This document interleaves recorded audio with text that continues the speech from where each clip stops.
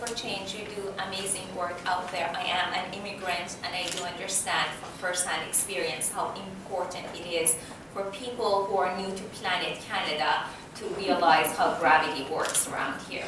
So thank you so, so much for everything you do. I was born in 1965 in Tehran, Iran, and back then Iran was not an Islamic republic as it is today.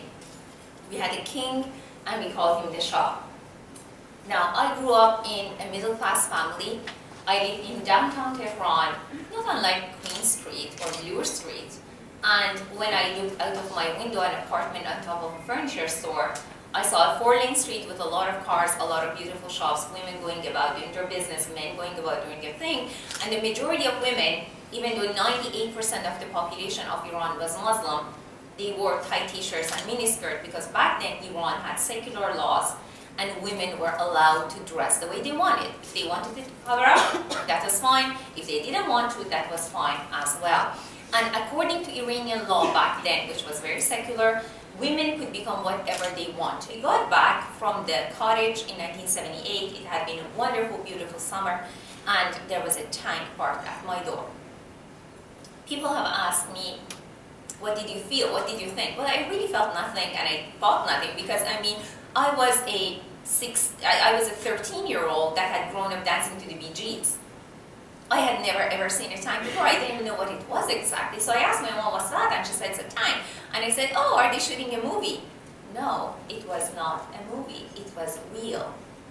And I watched from my window in the heart of downtown Tehran as the revolution unfolded. The street would fill with literally millions of people to the point that you couldn't see the pavement and they would yelling and screaming slogans against the East and the West, against everybody.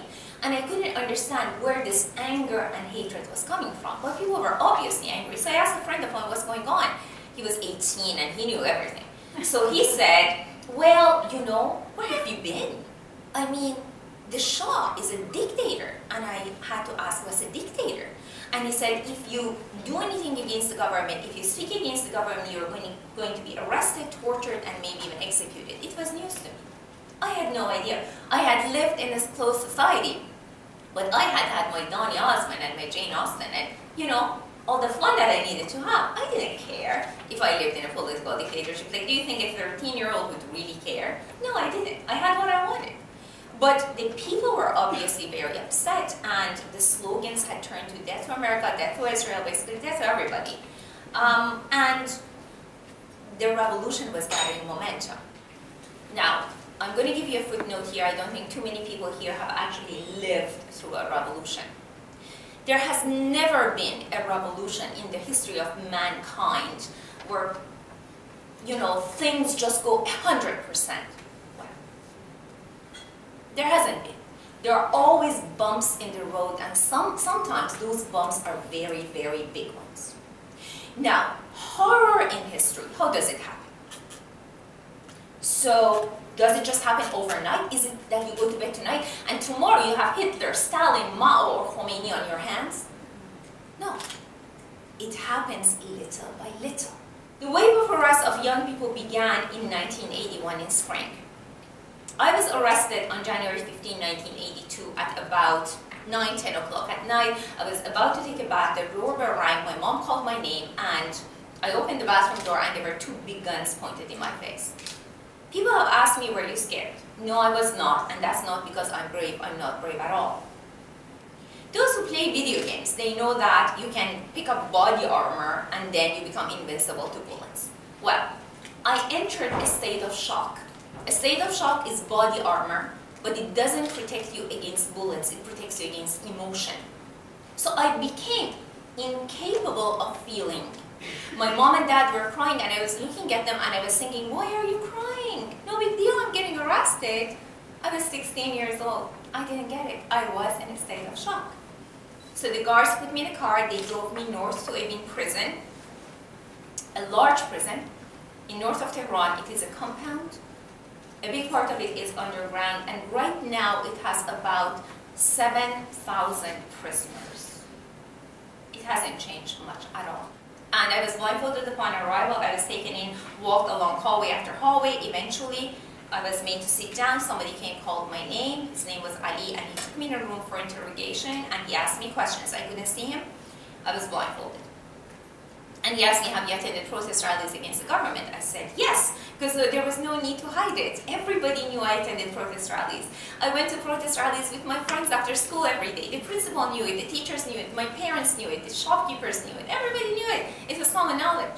And then he asked me, have you written articles against the government? I said, yeah, I had written articles in my school newspaper about the taking away of our liberties. Yes, and then he asked me, where's Shahrzad? Shahrzad is a girl's name. I had met with this young woman once. She was a university student. She was a member of Marxist group. She wanted me to join them. And I said no to her. Because at that point, I had figured out that Marxism and Catholicism don't exactly go well together. And not only that, I had realized that at that point in time, in Iran maybe, you know, working with a Marxist organization, even if we, we could put our ideological differences aside, which we probably could. So they took me to another room and they took off my uh, blindfold, and I was in a small room with two men, Ali and Hamid, and there was a desk, uh, two chairs, um, and a bare wooden bed. They asked me again, where's Shahrzad? I said, I don't know, which was the absolute truth. And they handcuffed me. They realized my hands are going to slide out of the cuffs. They don't make, make handcuffs for 16-year-old girls. I was 95 pounds back then. Now they make them adjustable. Back then, no. So my hands were going to slide out of the cuffs. So they put both of my wrists together and they put the two in one cuff and as it clicked, my right wrist cracked. Now the torture had not even begun yet and at that point, if I knew where this girl was, I would have told with whipped cream on top.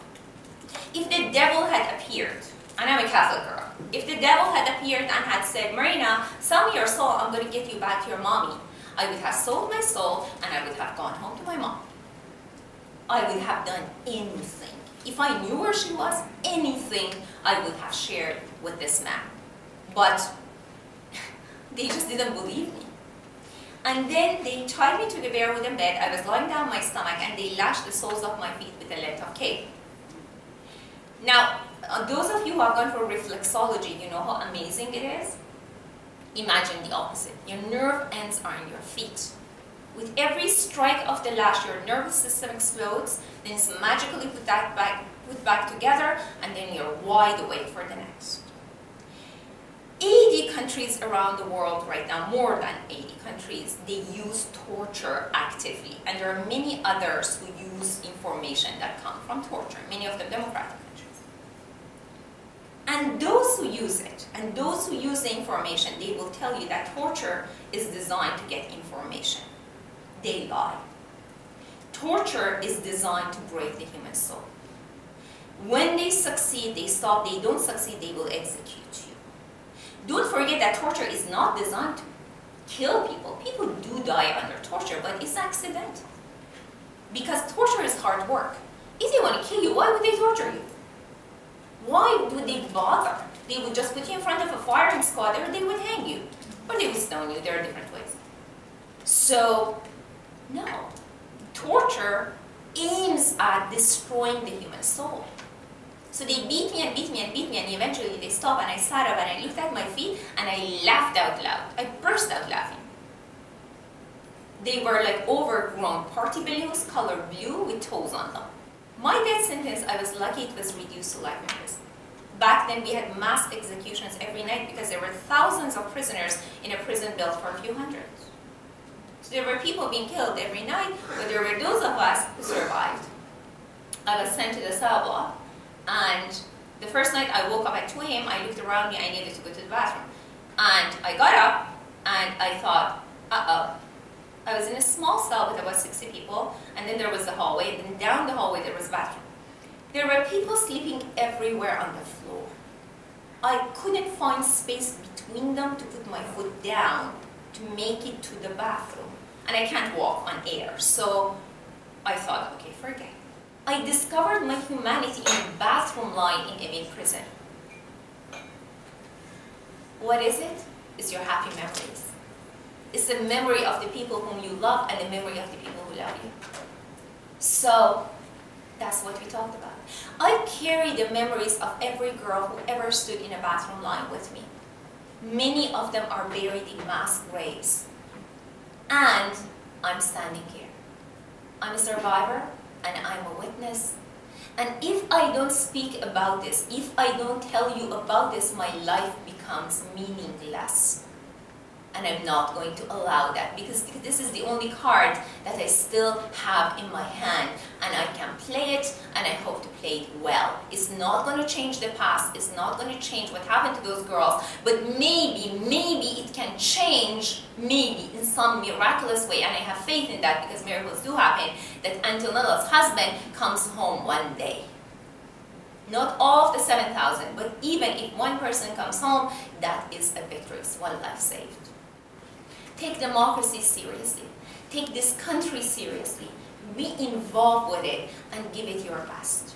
And I promise you, if someone like me, I didn't even manage to enter university because they didn't let me in. I went to the School of Continuing Studies at U here. I got a, a certificate in creative writing. But in Canada, my experience is that it is a, if you give it your best, if you stand up for what you believe in, if you use your voice, and if you encourage your neighbors and your friends to do exactly the same thing, maybe, just maybe, we can maintain what we have, and not only that, we can make it better. Thank you so much for your time.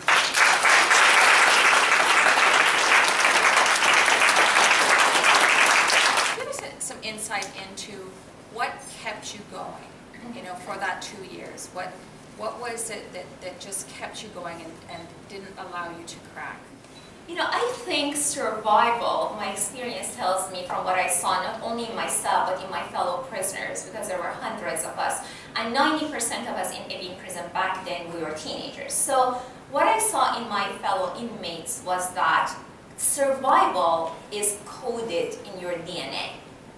If somebody throws you in a swimming pool and you don't know how to swim, you're not just going to sink and drown and say, hey, I give up.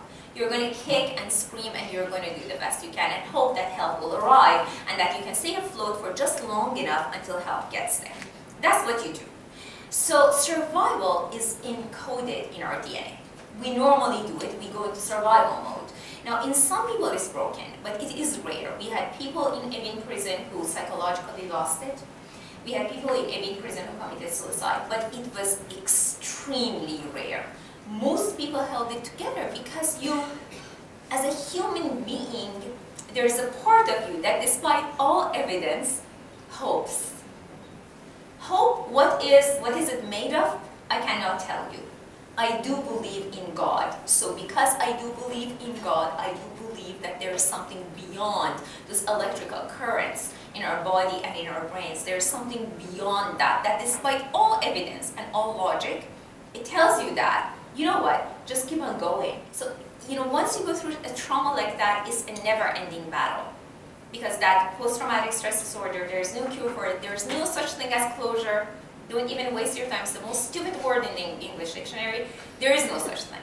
So don't waste your time. Find a way to deal with it. And I find the best way to deal with trauma is engage. Don't run.